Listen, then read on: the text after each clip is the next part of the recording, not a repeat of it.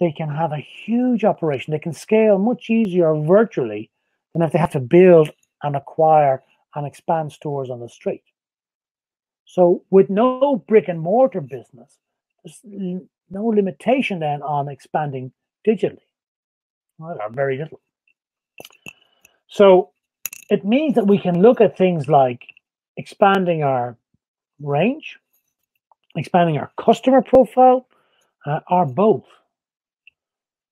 Which brings us back to things like branding and, and how that is valued and so on. So, why do businesses sell online? Because they can achieve higher margins, because it's easier to scale their business. The third one, though, is really important. Not that the others aren't, but this one in particular. It's the customer insight driven by technology. So, e commerce businesses collect a tremendous amount of data. And we've I've talked about this several times.